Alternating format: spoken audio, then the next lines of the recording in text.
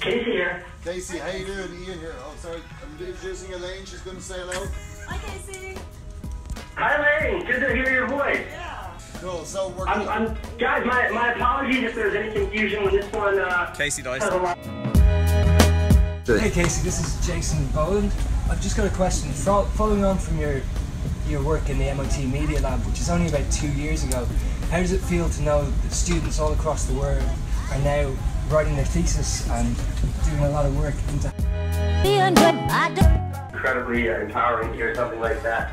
Uh, I try to uh, look look away from that and instead focus on what I'm trying to do today. But um, Werner Herzog, as a you know as someone in the early 20s who aspired to be a filmmaker, um, it was so motivating uh, and it, it moved me in such a way and it empowered me in such a way. So.